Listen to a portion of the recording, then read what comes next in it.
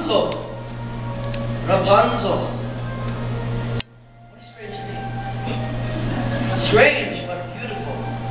And fit for a prince. Tomorrow before that horrible witch arrives, I shall stand beneath her tower and ask her to let her hair down to me.